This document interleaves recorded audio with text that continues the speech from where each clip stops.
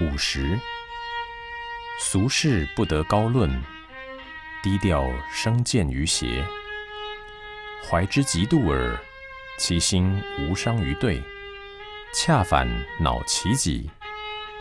由嫉妒动恶之念而生烦恼，为世之道，嫉妒属自害之敌。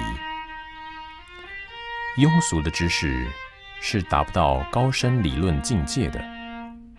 就是说，他的思想升华不到炉火纯青之境，低调、庸俗的境界，往往生出来的是邪知邪见。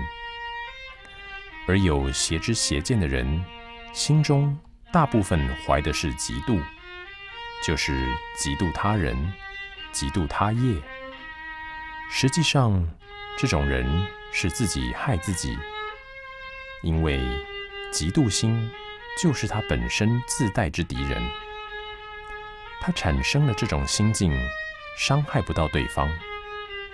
由于他产生这种心境，伤害不到对方，他就越加烦恼，结果烦恼伤害到自己，所以这种自讨苦吃都是由嫉妒动恶念而造成的。